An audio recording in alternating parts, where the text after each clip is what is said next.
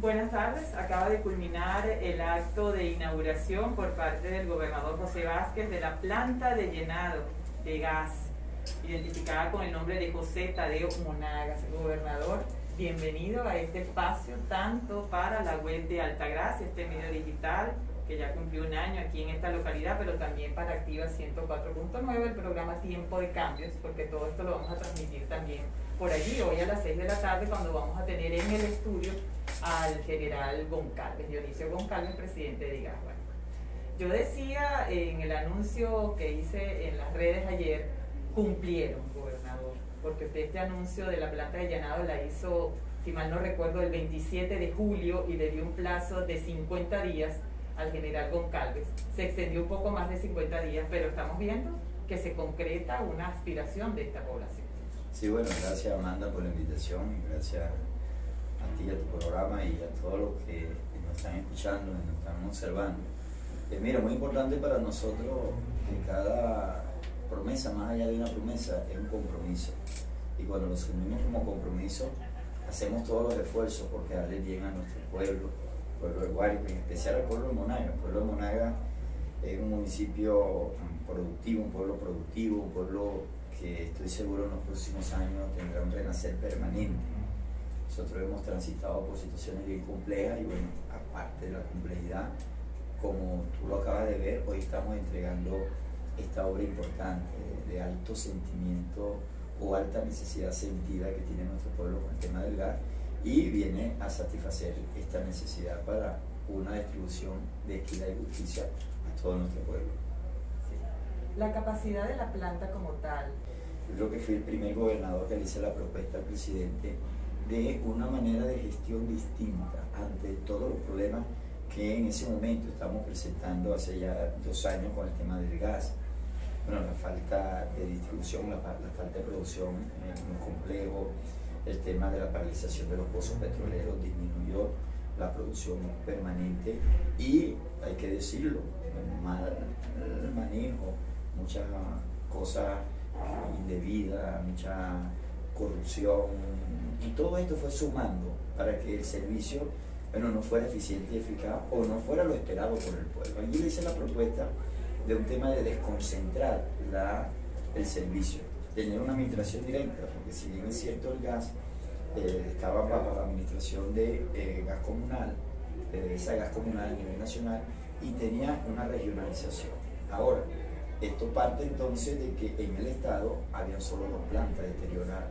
Y cuando hicimos una planificación, cuando yo revisé, me gustan mucho los números, como, como contador público, siempre me odio los números, cuánto me estaba llegando, cuántas familias que destruir, cuánto dura una bombona, y todo eso hicimos unos análisis y yo decía, mira, hay que buscar una nueva alternativa. Una de ellas no solo la rehabilitación de esas eh, estaciones de llenado como la de Calabozo y la de Leonardo Infante que distribuían todo el estado, sino cómo comenzamos con puntos estratégicos. De allí comenzó entonces la idea de buscar una alternativa de planta de llenado. La capital no tenía planta de llenado. Ahora tiene una planta de llenado que inauguramos hace unos meses el otro municipio estratégico para nosotros, Monaga. Y bueno, llegamos a un acuerdo de cómo iba a ser esta planta y hoy la estamos entregando con una capacidad, como me están preguntando, de 5.000 cilindros diarios. Es decir, nosotros con una buena organización, una buena planificación con el Poder Popular, Altagracia y tú, con el municipio de Monaga y Guaribe, no deben de tener problemas del gas. Si lo administramos muy bien, porque eh, el sistema del gas tiene varios componentes. Uno es el, a nivel primario, la producción que está en los complejos, como el de aquí viene el complejo OCE, allá en Anzuati, en Barcelona específicamente. Luego, un segundo componente que es la distribución de la flota secundaria, desde la planta de los llenados a los distintos municipios, a las distintas comunidades. Y el tercer componente, que para mí es el fundamental, es el estratégico de la distribución por comunidad, por familia, y allí estamos nosotros colocando un acento para el manejo eficiente. Entonces, esos tres componentes que implican no solo el funcionamiento de las plantas, el funcionamiento de los camiones secundarios, sus trabajadores, sino cómo llega a cada comunidad, cómo el orden de asignación y de acuerdo a la prioridad, de acuerdo al consumo, de acuerdo a la necesidad, podamos nosotros tener allí un plan que ese pueblo, esa familia, se sienta satisfecho de que el gas le va a llegar cada tantos días para que nosotros tengamos una cultura de costumbre que se hace ley en un manejo de una distribución a los días que ese pueblo lo necesite. Usted está de visita, de gira en el municipio de Monagas, también en este rol gubernamental de inauguración de esta obra, pero también en el aspecto político. Pero está haciendo este contacto aquí, justo cuando hay una crisis muy severa en el suministro de agua potable. Unos transformadores que se dañaron el 15 de agosto, que fueron traídos por usted, el día 14 creo llegaron los transformadores, el 15 ya estaban operativos de septiembre, pero antes del 15 de octubre esos transformadores se quemaron. Y ahora tenemos una comunidad, sobre todo la zona este, bastante comprometida con un cronograma que siguen las fallas y que no se cumplen.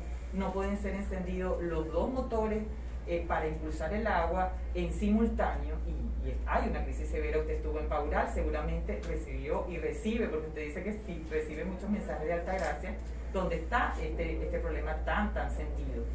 Los transformadores se están haciendo las gestiones. ¿Cuándo llega eso? Son equipos que dependen de otra área o asignación o empresa que los hace. Lamentablemente, bueno, sufrieron también en todos estos embates del sistema eléctrico una descarga que produjo pues, allí la quema de estos transformadores.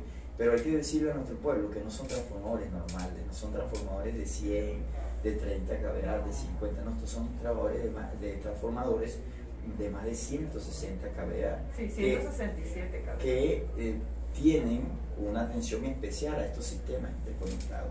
Ahora, bueno, nos colocamos, o el daño, está en este momento ya en la etapa de construcción y revisar qué fue lo que sucedió allí y de sustituir estos transformadores. Sin embargo, bueno, apelamos al plan B, es decir, eh, cómo llega el agua a las comunidades. Eh, eh, inmediatamente hubo que hacer una planificación sectorizada, o sea, días por medio, con la hidrológica. El sistema de agua potable, yo lo he venido diciendo, y así mismo como asumimos el del, gas, nosotros estamos haciendo una propuesta para asumir el sistema de agua potable directo, porque tiene varios componentes, Amanda. Uno, que es el sistema interconectado que depende del Ministerio del Poder Popular para el Agua a través de los embalses y las represas. Aquí la represa Guanapito, que es el embalse donde genera la distribución del agua potable, tiene la administración Hidropae, que es un ente del gobierno nacional. Con esto no quiero decir que yo estoy buscando culpables, no, que hemos coordinado y articulado, pero una de las propuestas que nosotros estamos haciendo es cómo nosotros asumimos toda una concentración que tiene en este momento el ministerio y cómo podemos ayudar desconcentrando una administración. Lo hemos demostrado que sí es posible, lo demostramos con el gas. Pero bueno, esto es una propuesta que estamos haciendo. Una de nuestras cosas o nuestros elementos, nuestro programa, nuestro proyecto va a ser intensificar la solución del tema del agua potable. Altagracia, específicamente Altagracia, que su componente principal es el embalse, hay otros componentes en otras parroquias que no es del embalse, sino es de pozos profundos, y bueno, el complemento que no es la solución, pero ayuda como compensación al sistema de distribución del agua potable con cisterna. Estos elementos hemos venido a analizar ¿Qué queremos nosotros? Bueno, tener la solución del problema del agua potable, que es del Estado y a nivel nacional, producto muchas veces por los sistemas que mm, necesitan de motores, de bombas y son importados. Una de las debilidades que hemos tenido que todos estos sistemas son importados. Y como Venezuela está sufriendo uno de los peores bloqueos, las empresas que suministran estos sistemas, bueno, han tenido que triangular, miren, hemos tenido que comprar motores y bombas, no directamente a las empresas, sino que se la venden a otro país, ese otro país se la vende a otro proveedor y ese otro proveedor nos la vende a nosotros, producto de estas circunstancias. Sin embargo, le hemos dado la cara. Y yo tengo una preocupación permanente, mira, a diario. Ayer hablé con el ministro del Poder Popular para el Agua, ayer hablé con el presidente de Hidropay Hoy también voy a insistir porque una de las cosas que me llevo es el tema de la solución del agua potable. Insisto y repito, si estamos nosotros con el plan B de acuerdo al sistema conectado para que le llegue a las comunidades de acuerdo a un, programa de sectorización, pero no es lo que queremos, queremos que le llegue permanentemente el agua. Y así como lo dije con el mi compromiso acá es que nosotros podamos resolver el tema del agua potable. Inclusive un poco más allá, hay comunidades nuevas que han venido creciendo y no tienen una planificación de distribución del agua. porque bueno, son comunidades nuevas, muchas crecieron desorganizadamente, no dentro del plan urbanístico. Eso estamos nosotros en este momento tomando como prioridad. La prioridad en los próximos años, ya lo he dicho, ha sido la intensificar las acciones en los servicios públicos. Cuando yo llegué en el 2017, que hicimos un diagnóstico, la prioridad eran dos áreas, la económica, producir los alimentos, y la salud. Esas eran las dos prioridades.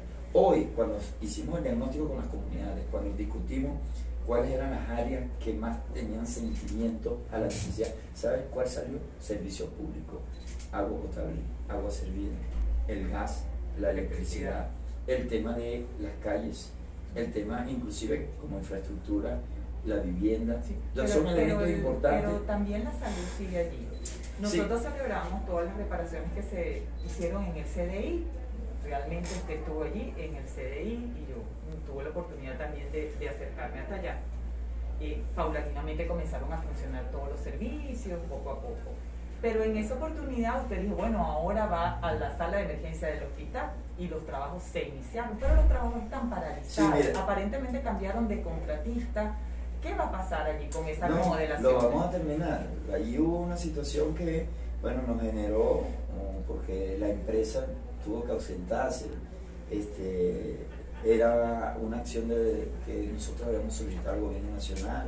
Ahora está bajo nuestra, nuestra acción y estamos, estábamos resolviendo unos problemas administrativos. Ya están listos, Amanda.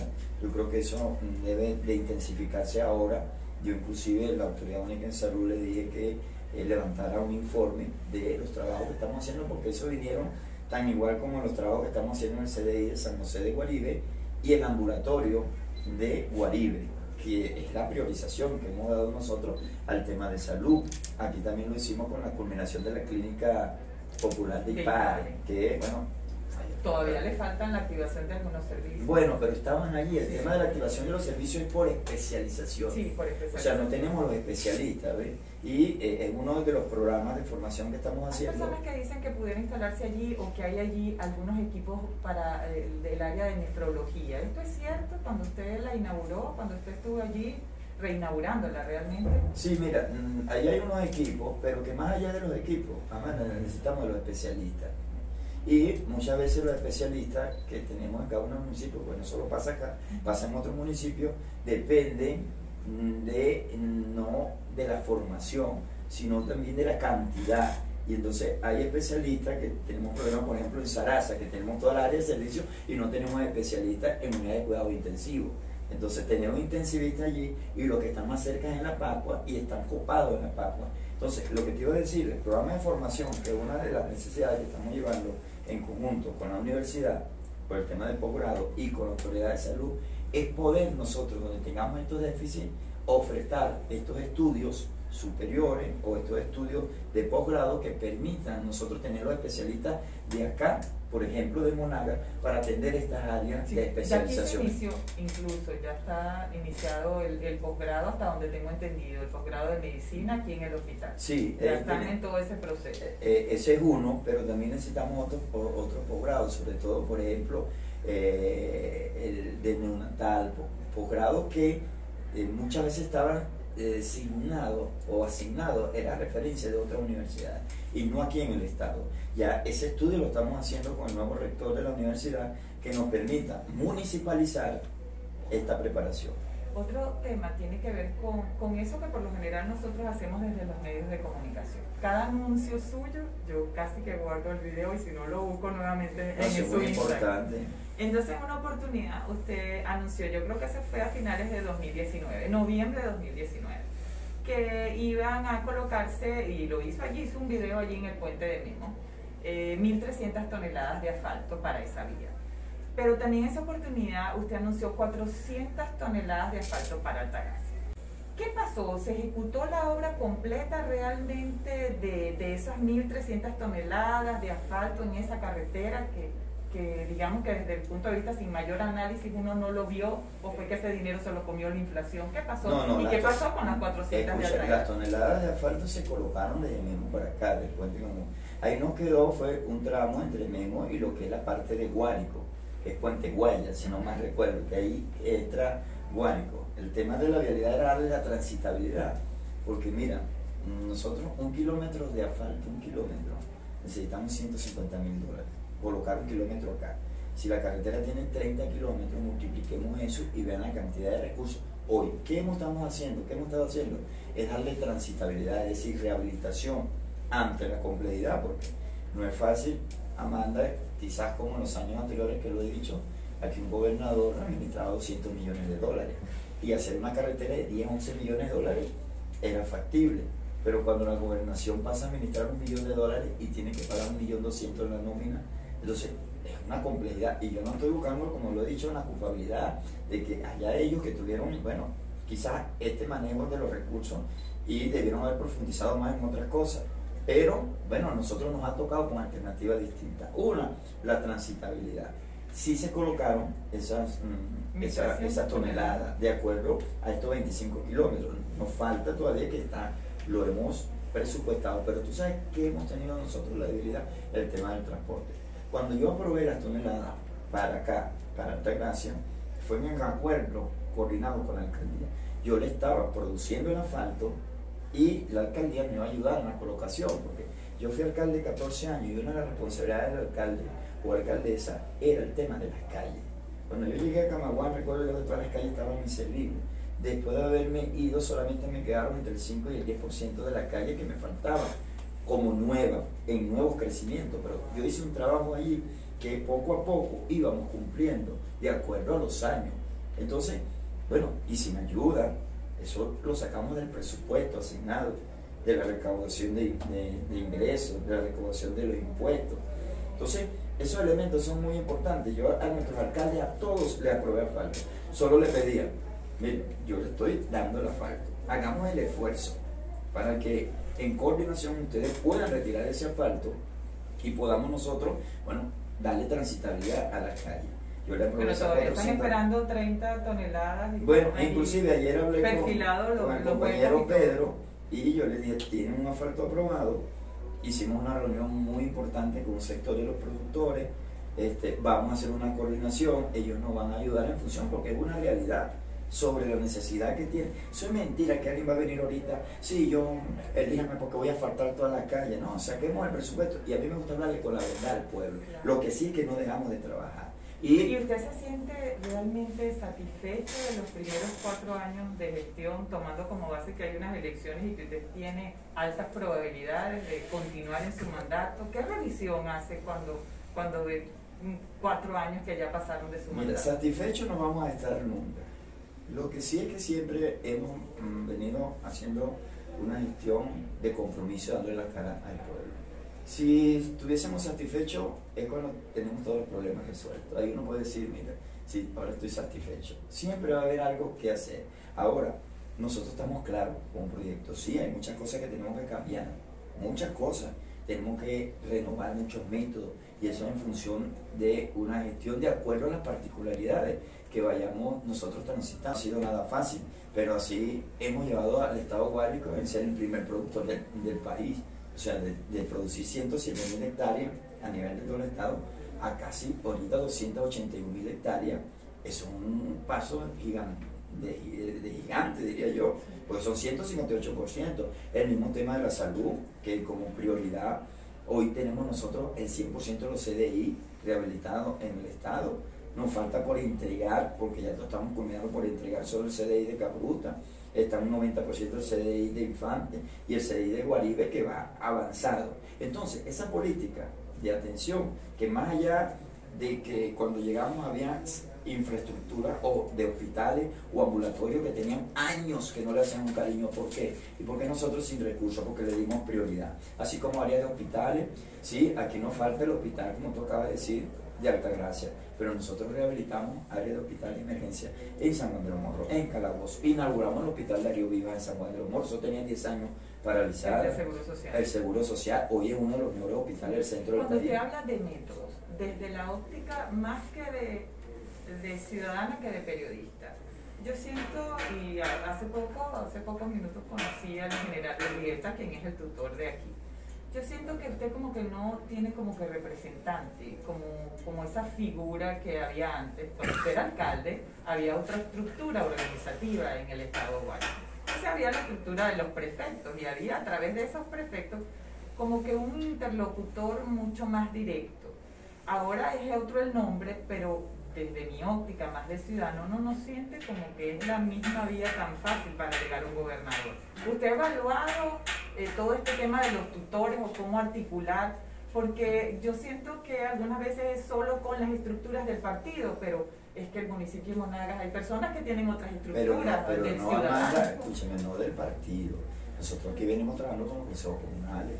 Es una nueva es nuevo foramiento del poder popular. Antes que se estaban los prefectos, los prefectos fueron eliminados por constitución, quedaron ahí como comisionados sociales, pero antes no estaban los consejos comunales. Ahora que sí hay como representación. Comunicación, claro, directamente, el, porque el consejo comunal, que muchos no lo han querido entender, y sobre todo algunos que hacen la crítica y menosprecian el empoderamiento del poder popular, el consejo comunal es una alcaldía pequeña en una comunidad ellos tienen un autogobierno allí. Hoy en día el gobernador se comunica directo con ellos, porque no solo por un teléfono o por un mensaje, es que hay un sistema donde ellos me cargan los proyectos allí, donde yo he aprobado recursos a ese consejo comunal.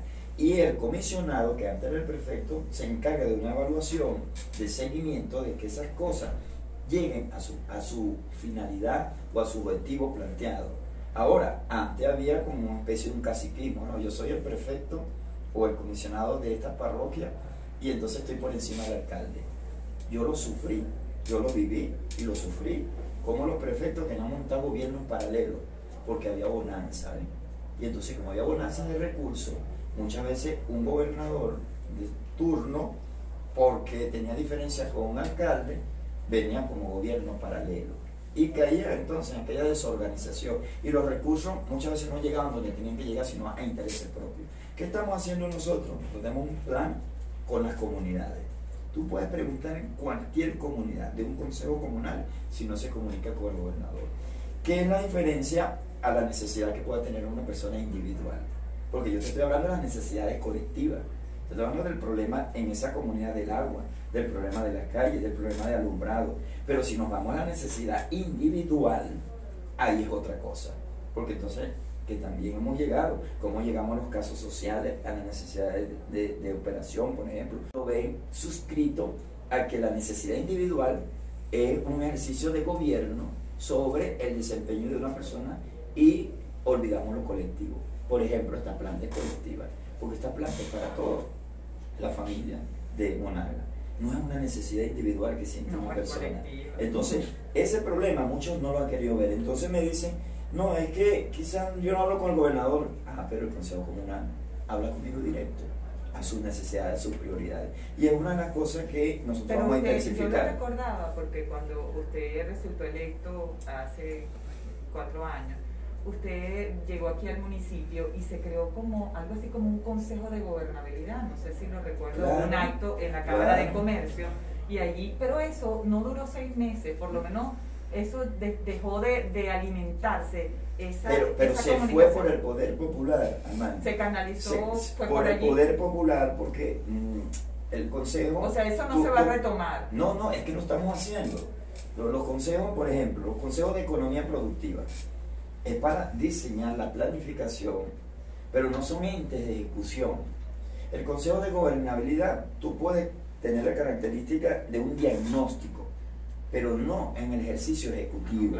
El ejercicio ejecutivo está caracterizado hacia lo legítimo que como personalidad jurídica, según ley, tiene el Consejo Comunal, o tiene una alcaldía, o tiene una institución, el Instituto de Deporte del Estado. Entonces, los consejos de gobernabilidad los consejos, bien sea de economía, un consejo de gobernabilidad social, un consejo de gobernabilidad en el área de infraestructura y servicios, te permiten tener un diagnóstico de la realidad, te permiten que podamos nosotros tener la necesidad allí.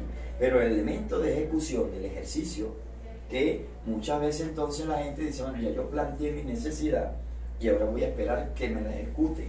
Entonces, allí es donde muchas veces ese consejo pierde la legitimación, porque si tú planteaste la necesidad, ¿cuál es? Está bien, no lo voy a ejecutar yo, pero tengo que darle seguimiento Claro. para que, como tú lo estás haciendo, que anote las cosas No, que yo digo, todo, que grabe las cosas que yo todo. digo, eso es parte del Pero, seguimiento. pero claro. pues, Pero tiene que ser también en el momento oportuno, porque muchas veces dejamos pasar las cosas, las dejamos pasar, las dejamos pasar y se nos va el tiempo. Ahora, tú me haces una pregunta que es muy importante, los métodos. Claro. Nosotros, ¿Qué, qué método va a Eh, eh, imprimirle? Porque yo creo que usted ya dijo que no estaba satisfecho.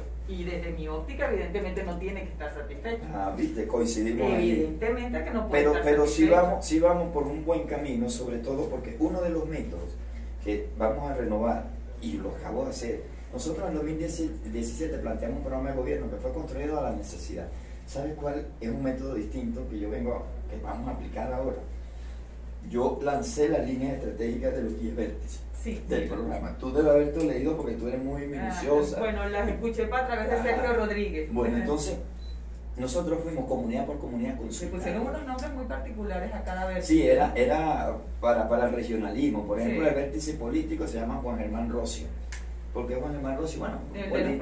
productores. eh, es eh, Ezequiel Zamora, Ajá. el, el vértice económico. El vértice de, de infraestructura y servicios, las venas del Guárico. Porque, bueno, la arteria de la vialidad, eh, la distribución del agua, servicio por venas, como, como decir, Sí, sí, sí. algo de que se refiera. Ahora, ¿qué hicimos? Por ejemplo, la comunidad, planteame el vértice y venas del Guárico. Cada comunidad, ¿cuál es tu prioridad? Quizás en una comunidad la prioridad es agua servida porque tiene el agua potable. O en otra comunidad la prioridad es electricidad porque tiene vialidad. Entonces, comunidad por comunidad, tenemos 1.700 comunidades. Nosotros recabamos en total de propuestas 4.759 propuestas entre todos los 10 vértices. Y tenemos, por eso te decía, de dónde yo digo que en el 2017 el vértice eh, o, o el área con más necesidad o de mayor prioridad era economía y salud. Ahora, de este método que estamos haciendo nosotros, llevándolo a las comunidades para que opinen, ¿sabe cuál fue el área que más las necesidades tienen como prioridad? El vértice de la vena del Guárico. Cambia, ¿ves? ¿Por qué? Porque la economía ya hemos sentado las bases. Y ahí encaminamos un proyecto económico uniendo todas las fuerzas productivas donde van caminando y vamos a consolidarlo. La salud, Falta, falta todavía uno importante que es eh, la capacidad de compra. O sea, Claro, que realmente existe un poder pero adquisitivo. escucha, porque escucha para terminarte la, la idea. Entonces, con este método, ahora la prioridad es infraestructura y servicio. ¿Dónde vamos a intensificar? Nosotros, nuestra gestión, ahora ya en la infraestructura y servicio. Lo que tú me estabas ¿Bajo qué preguntando. ¿verdad? fórmula si dicen que no tiene recursos? No, mira, hay, hay alternativas que se buscan desde el punto de vista de gobernanza institucional y unidad. Ejemplo, te pongo un ejemplo.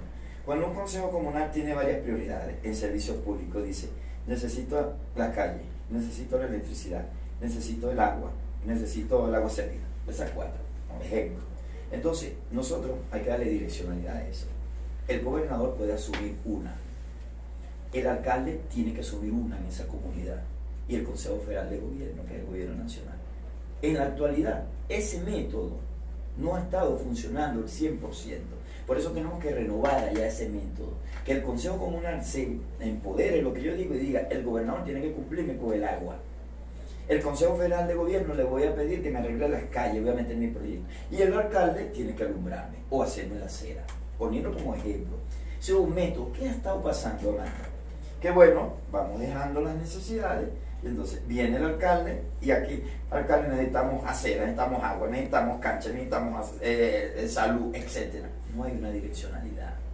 Viene el gobernador lo mismo y entonces nos vamos llenando de necesidades que no hay un plan sistemático para nosotros cumplirle al pueblo. ¿Qué estamos proponiendo como método? Epa, vamos a dar la direccionalidad, consejo comunal, ¿cuál es su prioridad? No, que mi prioridad es el agua potable, ok. Y la segunda prioridad no es la escuela. Y la tercera prioridad, bueno, la cancha en asamblea. Ah, ok, vamos a la direccionalidad. La cancha con el Consejo Federal. Usted, alcalde, nos va a ayudar a pintar la escuela. Y yo, que el problema más grande, vamos a asumir el agua. Ese es un método de trabajo. Pero para hacer ese método debemos estar organizados. ¿Cómo buscamos los recursos? No de acuerdo, la priorización. Cuando yo digo, si aquí faltan tantos metros en esta comunidad de agua servida, en esta comunidad tantos metros de agua servida, en esta comunidad tanto, en el municipio son tantos metros de agua servida. Si yo sumo los metros de agua servida en el municipio, de los 15 municipios, me va a decir cuántos kilómetros de agua servida tengo yo que hacer en el Estado para satisfacer esta necesidad. ¿Cuántos colectores hay caído?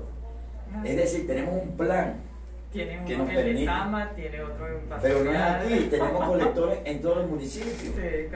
Pero hay que hacer un plan, ¿entiendes? Que te permita a nosotros, desde la realidad, Vamos a abordar el tema político porque ya faltan poquitos días y ya tenemos que finalizar esta entrevista porque sabemos que usted tiene que seguir a Guaribe, ¿cierto? sí, Sí.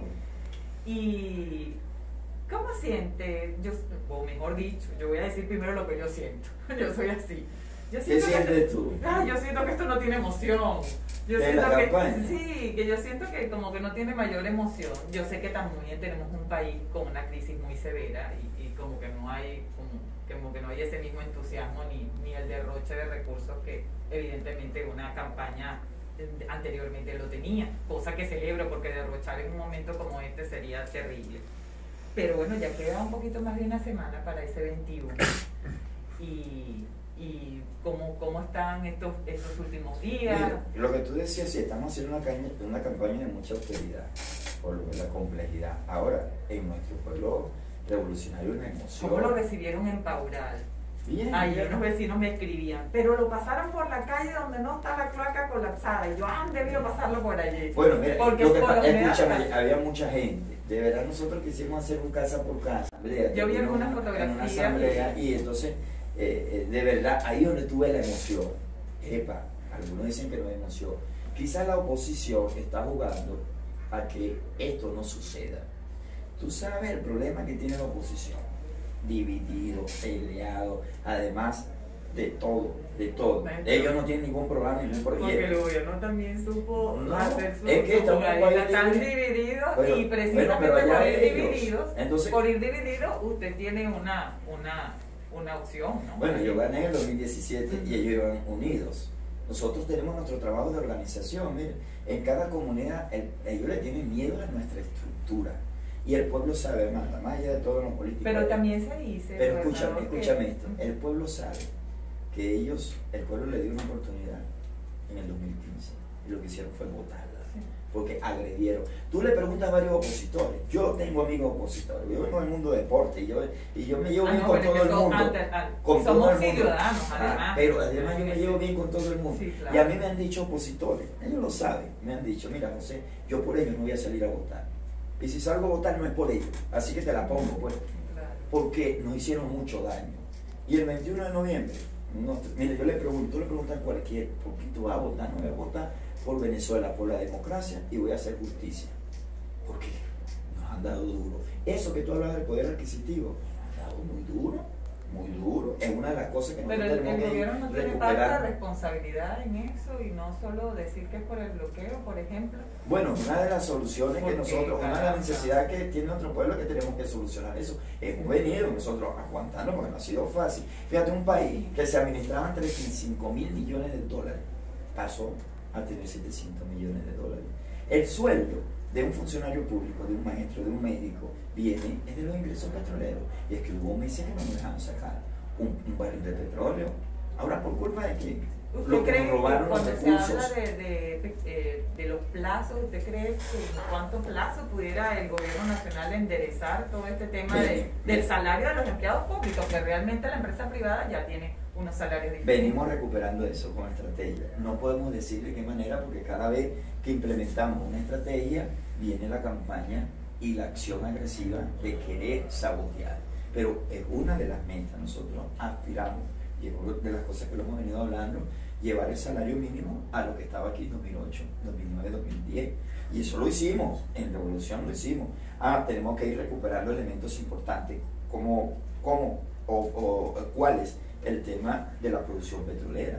Mientras más petróleo podamos producir y sacar petróleo y que nos dejen sacar el petróleo, nosotros vamos a tener ingresos. Esos ingresos van distribuidos para, para todo nuestro pueblo, para nuestras instituciones, para los proyectos. Otro elemento, la producción nacional. Como nosotros, fíjate, ¿quién se iba a imaginar aquí que nosotros podríamos producir lo que hoy no estamos comiendo? 90%, todavía nos falta ese 10%, pero el 90% lo estamos produciendo acá. Y si hubiese gasolina y gasoil, mucho más. Pero ¿por qué? A, a veces tú no te has preguntado por qué no hay gasolina. Tú no lo has hecho. Tú le preguntas a un opositor por qué no hay gasolina, este gobierno en salud y la Ah, pero, ejemplo, las refinerías acá, tú sabías que las refinerías fueron construidas en la Cuarta República. Tú debes saber. A imagen y semejanza del gobierno eh, norteamericano. Para cambiar un tornillo, hay que comprarlo en Estados Unidos. Un tornillo de esta refinería. ¿Quién nos bloqueó a nosotros? No nos vendió, pero ni siquiera el sistema, el sistema que era controlado de aquí con los sistemas tecnológicos del norte, que las refinerías estaban adaptadas, todo lo bloquearon, había que comprarlo allá. Ah, hoy hemos venido recuperando la industria petrolera y esta refinería. Es como que si tu carro, tú tienes tu carro y entonces necesitas un repuesto y todo te bloquea. No, no le vendan ningún repuesto a Amanda. ¿Qué va a pasar con ese carro en poco tiempo? Si necesita comprar, ya se te dañó el arranque, los cauchos, no le vendan nada. Va a llegar un momento que eso está, vas a tener el carro en el suelo. Entonces, así pasó con la refinería. ¿Qué estamos haciendo? Buscando nuevas alternativas. De, de poder poner en funcionamiento esa refinería e inclusive aplicando otros métodos tecnológicos. Porque fue construida a imagen y semejanza de la refinería de Estados Unidos. ¿Las elecciones internas le dejaron a usted algún aprendizaje? Porque en el caso del municipio de Monagas los números como que no fueron muy alentadores. A, pesar de ser una elección interna del PSU, había mayores expectativas de más apoyo hacia, hacia su nombre, tomando en cuenta además que era el mandatario. ¿Algún aprendizaje en cuanto a eso de las elecciones internas? Sí, es muy Porque es una revisión necesaria, porque los números son también una radiografía ¿no? de nuestra gestión. Primero, eh, fíjate tú, yo cuando salieron las elecciones internas, yo agarré mi equipo y le dije, además le dejé ver de que yo no iba a usar el aparato del Estado para tratar de estar en un cargo sin la mayoría del pueblo, sin la voluntad de la mayoría del pueblo. Y así lo hice, porque yo decía, hemos transitado todas estas tormentas y tempestades de estos cuatro años y no hay una valorización, no hay un reconocimiento, yo bueno, agarraré, como siempre he estado dispuesto, de irme a cualquier otro espacio, a seguir el trabajo político. Yo no es la primera que presento en elecciones internas. Yo, cuando fui alcalde, como en elecciones internas, que además eh, fueron complejas, difíciles. Estas elecciones internas, bueno, uno nos da la caracterización de legitimación. Municipio Monaga, nosotros dejamos que fuera a opinión del pueblo y al sentir del pueblo ¿Qué pasó? Y tú me dices, ¿cuál es la experiencia? Mira, una de las cosas fue que yo facturé cosas que en un momento determinado me confié de que muchas personas tenían esa responsabilidad. Yo facturé y pagué cosas acá en Monaga, como en otros municipios, de que la responsabilidad era directa de un alcalde, de que había basura en una comunidad y pagaron conmigo, de que había una calle rota en una comunidad y yo era responsable entonces, todos esos elementos me permitió tener una reflexión. ¿Pero por qué? ¿Por qué, Amanda? Porque yo me confié de que los gobernantes municipales tenían una comunicación permanente. Y más allá de la necesidad, muchos me decían, no, gobernador, es que no encontramos con quién hablar, es que no encontramos quién nos atienda, es que no hay comunicación. Y eso, producto, bueno, del trabajo, de la pandemia que nos ausentó, permitió que yo facturara muchas cosas en el ámbito del momento de la elección. Sí, aquí quizás los resultados, como tú dices, nosotros esperábamos más, pero en otros municipios yo gané casi por el 60%. En el contendor de lo que yo decía de esa interlocución, de eso que yo siento de que hubo una ausencia suya en estos cuatro años. De allí mi pregunta inicial, y usted me lo está confirmando, que usted pagó esa ausencia que usted quería, que creía que sí estaba presente con representación, con vocería y, y claro, por eso es uno de los métodos, uno, de los métodos distintos que aprendí, como tú dices, de experiencia de las elecciones internas, fue el tema de la comunicación directa con los liderazgos, fundamental, porque cuando yo era alcalde me reunía permanentemente con mis líderes, con mi jefe de comunidad, porque de paso eran 80 comunidades allí en Canagua, pero claro, paso a 1800 comunidades, yo diseño un sistema que me permite tener la comunicación, pero era con el poder popular, más a veces las mm, ciertas circunstancias que puede haber una comunidad, tú eres del Poder Popular, tú eres del Consejo Comunal y yo soy líder de comunidad, y entonces si eso no hay una unión, entonces yo me comunicaba con el Poder Popular y entonces el líder de comunidad que fue en el momento del voto, allí hubo todas estas circunstancias. Pero en conclusión, ¿qué aprendí? Y uno de la renovación de los métodos es que ahora, en los próximos años, vamos a tener una gobernabilidad no solo con el Consejo Comunal, sino una comunicación permanente con nuestros jefes de comunidad. Directo, jefe de comunidad, el gobernador. Y ya estamos buscando los métodos. Así como cuando yo dije, mire, vamos a tener un método de comunicarme con el Consejo Comunal, cinco guáricos. Así vamos a tener un método con este liderazgo, de que lo vamos a lanzar el 22. El 22 de eh, noviembre estaré lanzando el método de comunicación permanente con esos liderazgos. Pero como son 15 municipios, es el gobernador y además, amando otro elemento, que hay tareas de Estado y entonces yo me confié de que esa tarea municipal tenías que hacerla tú y resulta que quizás no lo desempeñaste en el tema más eficiente o en la acción más eficiente y eficaz. Todos esos elementos los aprendí. Y bueno, sobre estas circunstancias políticas, el pueblo me dio la confianza, porque, bueno, 60% por encima en unas elecciones internas no es fácil. Cuando vengo cuatro años. Y uno, vamos a ver nuevamente esos números. sí subió. Vamos a estar por encima de eso. Sí, eh, las estimaciones. Te va a acordar, te va a acordar Seguro que sí. Gobernador, ya tenemos 42 minutos de entrevista. Yo estoy de verdad agradecida de que haya permitido esta conversación. Estaba pendiente Tú no querías entrevistarme. No, yo sí quería. Y yo quería que ella me entrevistara. yo toda la vida, periodista que no quiere entrevistar una fuente, no, no creo que exista. Eh, yo le agradezco mucho y espero que no sea eh, la, la, no, fíjate, solo que nos quedemos aquí, que hayan otras oportunidades. Quizás por teléfono, yo a veces le doy entrevistas o me entrevistan periodistas, medios de otros municipios por teléfono Además, hay que aprovechar la comunicación por, videollamada. O sea, hay varios elementos. A mí me gusta presencialmente, como, este aspecto. Y vamos a estar esperando ese método, porque yo pienso que ese método también tiene que ir enfocado hacia la comunicación, hacia los, quienes estamos aquí como, como trabajadores de los medios. Claro, claro, mira. Es que, que no ha sido la mejor en estos cuatro años. y que yo siento que hay un cambio precisamente porque es necesario, porque nosotros también somos interlocutores. Que Guárico de encuentro. Somos. Guárico de encuentro. ¿Qué estoy haciendo yo con Guárico de encuentro? Yo les decía a un amigo en estos días, Mire, Guárico de Encuentro es para encontrarnos todos. Vamos a encontrarnos todos para desarrollar el tema de comunicación. ¿Cómo ustedes pueden ayudar al seguimiento? Más allá de la crítica muchas veces que cae algunos destructivas, no, lo que tú me estás haciendo, preguntándome cosas del alma, preguntándome cosas que tú sientes y muchas veces reconociendo, porque el problema es que a veces nos cuesta reconocer. Es una de las debilidades del venezolano, del guariqueño, que no reconocemos. O sí, tengo problemas eh, como en estos días alguien decía, sí hay problema en la vialidad, está bien, pero la vialidad de Guárico son 2.045 kilómetros. Nosotros hemos rehabilitado 470, nos falta, por eso estoy pidiendo la confianza, pero hemos venido rehabilitando, nos faltan tramos. Yo no dije que en Camaguán yo iba a llevar el municipio prospectivo, después de estar entre los más pobres del país, convertirlo después de 10 años en los municipios más prospectivos, pero fue con un plan. Ahora, que me diga alguien que en una semana va a resolver todo. Lo que sí es que siempre le he dado la cara. Ahora, son 2.045 kilómetros de vialidad. Son 14.000 kilómetros. ¿Tú sabes que son 14.000 kilómetros de vialidad agrícola? Del Estado. 14.000. 14.000 y un poquito más. Si tú sumas esos dos, vialidad agrícola y vialidad extraurbana, sin meter la vialidad de las calles de los municipios, 16.000 kilómetros de aquí a China, lineales.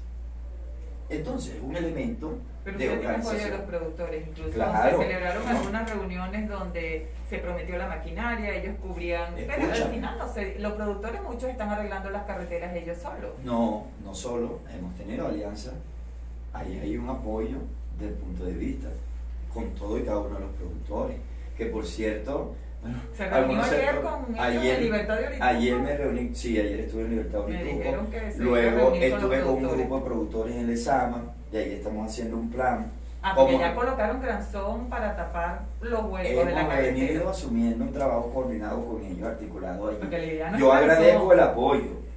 Pero fíjate tú, ayer en la reunión, ajá, las toneladas. se las coloco. Ayúdenme entonces al transporte. Y quedaron allí, hicimos un plan para comenzar nosotros a rehabilitar. Porque es que no es la primera vez, lo estoy haciendo en Saraz, en todos los municipios. Ahora, nos falta, sí, como el tema productivo. ¿Tú crees que la gobernación o el ministerio sembró hasta 280 mil hectáreas? No. Yo le dije a los campesinos, vénganse para acá. Le dije a los productores privados, vénganse para acá. Le dije a los consejos comunales, vénganse para acá. Agarrar ministerio y gobernación. Hicimos un plan. Y aquí cabemos todos, así como estamos aquí. Claro, pero uno recuerda cuando uno iba por las carreteras de Guárico, independientemente que ellas siempre han tenido fama de estar malas, esa fama no, no, no, no, no, no nos las quitamos lamentablemente y ahora están peores. Pero uno recorría la carretera. pero fíjate tú. pero uno recorría la carretera. pero eso, eso es el síntoma, ¿ves? Estoy hablando del esfuerzo y generaliza.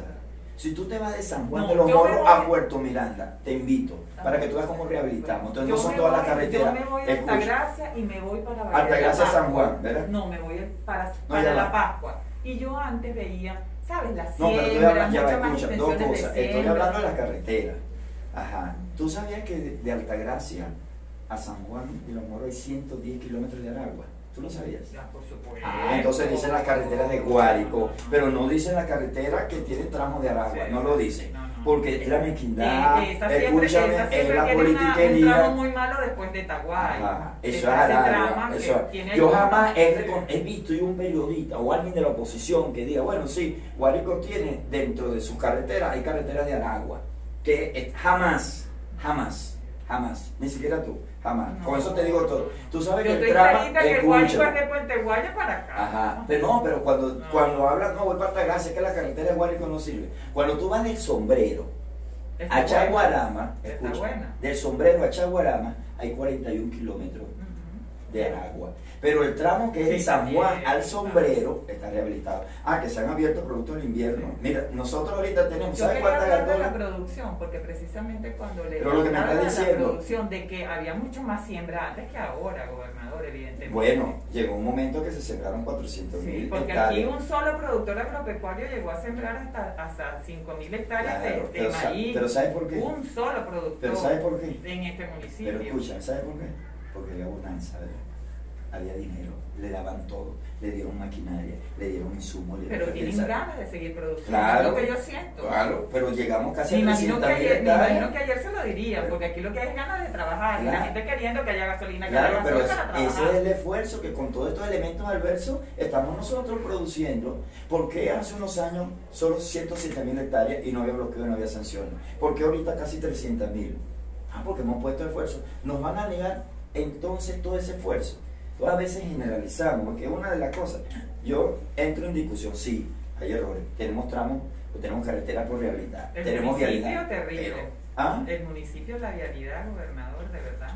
Sí, una de las cosas. inversión, salvo, salvo esas 1.300 toneladas que usted dice que solo falta ese pedacito de Puente Guaya, no se ha hecho mayor inversión en vialidad. Claro, porque hay, hay pero escucha. En cuatro años. Pero acuérdate que hay unas responsabilidades compartidas. No, no, yo sé, del gobierno nacional. Ajá, no, no solo el gobierno nacional. Tuvo, dos colapsos de la vía para Guaribe, por ejemplo. Pero lo solucionamos. Y, y, ahí vamos, ahí entonces un proceso de rehabilitación. Pero yo te digo que sin recursos. Ahora tú me dices la vialidad de las calles, sí, yo las asumo pero yo fui alcalde, te repito, a mí no me fueron a arreglar las calles.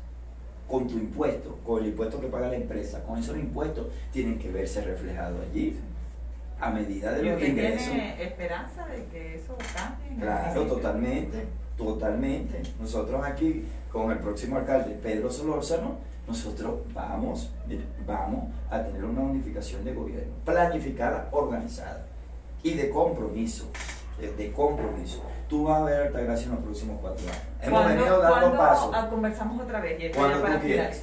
Cuando tú quieras. Te la pongo eh, para así bombitas. Sí, ok. Oye, te la pongo bombitas. ¿Usted cuándo viene después que sean las elecciones? Mira, no, voy a estar visitando permanentemente. No es la primera vez que yo he venido a Monaga. Pero vamos a, vamos a planificar. Es más, en te, enero. Lo, te lo voy a poner. En enero. No, no, no, te lo voy a poner en más enero. fácil. Cada vez que yo venga a Altagracia, entrevista. ¿Acordado? Acordado. ¿Acordado? Aquí está. Acordado. Muchísimas gracias. Gracias, Conversación con el gobernador José Vázquez y allí en la Cámara William Formín para la web de Alta. Gracias, nos despedimos.